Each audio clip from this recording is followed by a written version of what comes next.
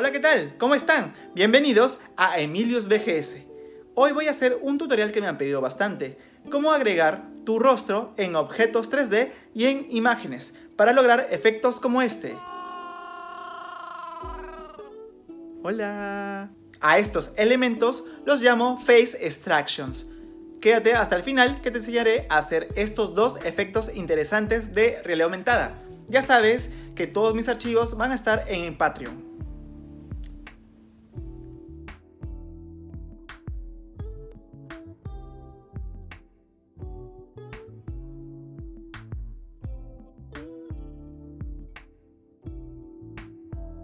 Estamos en Spark.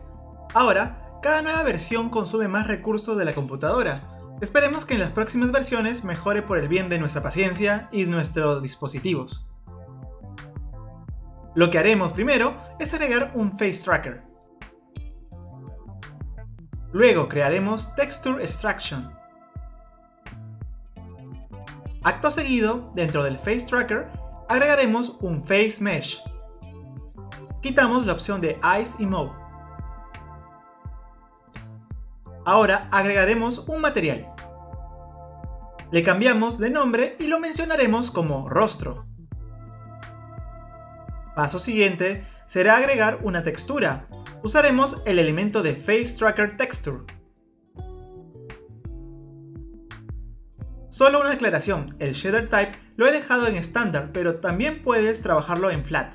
Depende del efecto y la estética que quieres generar. Recuerda que esto tan solo es una guía. Ahora, en Face Tracker, agregaremos un plano.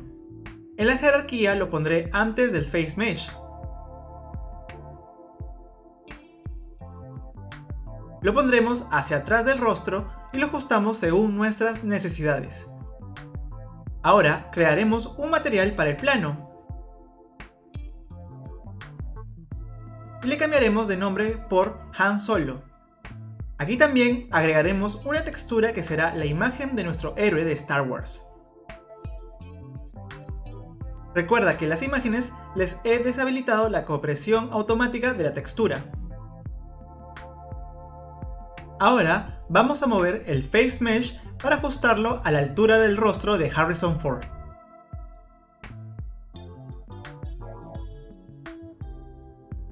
Si se dan cuenta, el movimiento del rostro controla toda la imagen.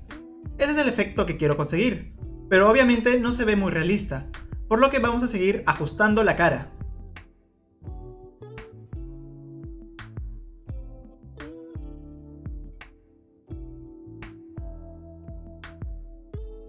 Editar para que el rostro calce perfectamente con la foto es un proceso tedioso, pero necesario. Estoy ajustando rotación y posición para modificar la apariencia del rostro dentro del cuerpo de Han Solo.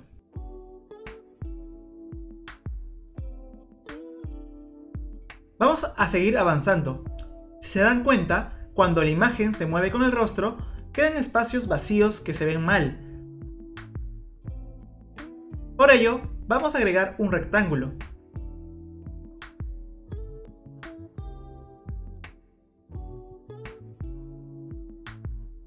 Le cambio de nombre y le pondré fondo.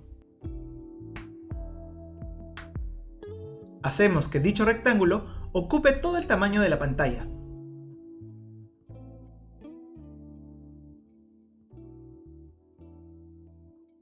Luego le crearemos un nuevo material. También le cambiaré de nombre y le pondré fondo. En estos momentos no se ve muy bien este efecto, pero eso tiene solución rápidamente.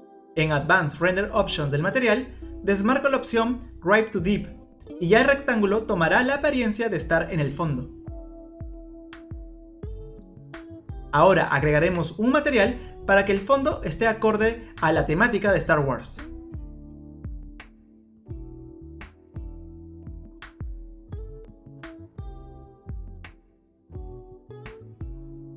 Ahora con este fondo ya vamos a probarlo desde el smartphone. En este caso, uso Spark R Player, una aplicación oficial de la herramienta. Hola, soy Han Solo. ¿Qué tal me veo?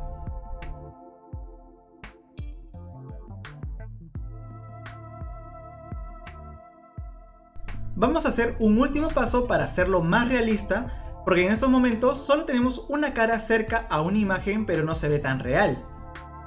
Ajustamos un poco más para tenerlo perfecto. Ahora usaremos el Patch Editor y usaré un patch muy bueno que encontré en la comunidad. Este se llama Edge Face Fade. Arrastramos ese patch dentro de los assets. Ahora lo que necesitamos es usar el Face Tracker Texture, el patch Face Fade y la textura del rostro.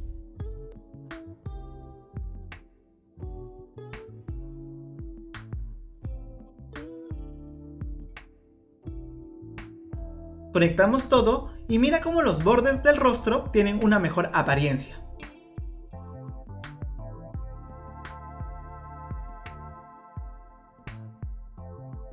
Seguimos ajustando hasta que quede genial.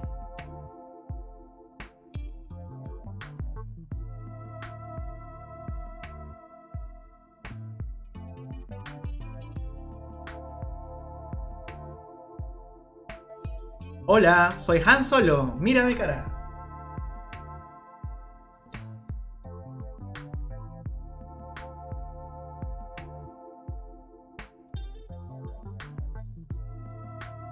El patch que utilicé es del usuario Kuno Fell Asleep.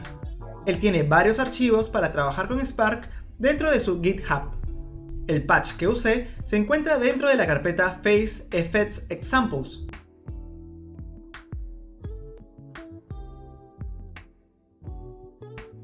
Dejo el enlace en el primer comentario del video. Muchas gracias Kuno Fell Asleep. Ahora haremos otro método de Face Extraction.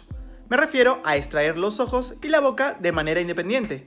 Para ello utilizaremos los archivos de Face Reference de Spark Art. Una vez teniendo los archivos, vamos a la carpeta textura y usamos el archivo facefeminine.jpg y lo trabajaremos en GIMP o Photoshop. Usa cualquier editor gráfico que te permita trabajar con capas y exportar en PNG transparente. Ya en GIMP, creo una capa nueva y en dicha capa vamos a pintar de blanco los ojos y la boca.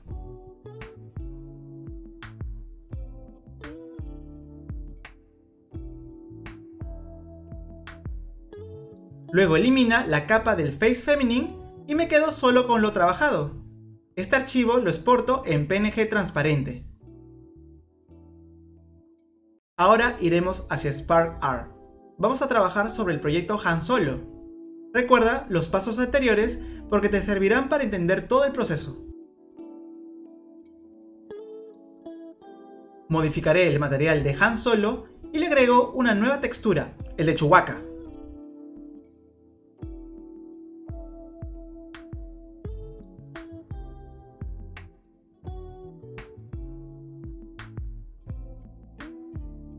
Como es evidente, nos toca modificar el Face Mesh para que calce perfecto con el cuerpo de Chewie. Ahora seleccionaremos el material rostro y activaremos la opción alfa e importaremos en textura la imagen que trabajamos en GIMP.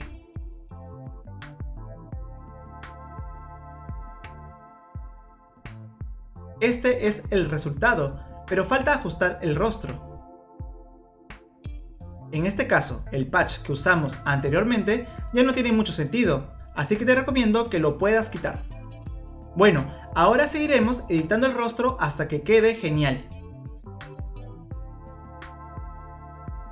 El resultado es muy gracioso, ya depende de ti hacerlo más complejo y con mejor acabado. Como por ejemplo, tener imágenes con transparencia, agregar partículas, usar smooth y otras cosas.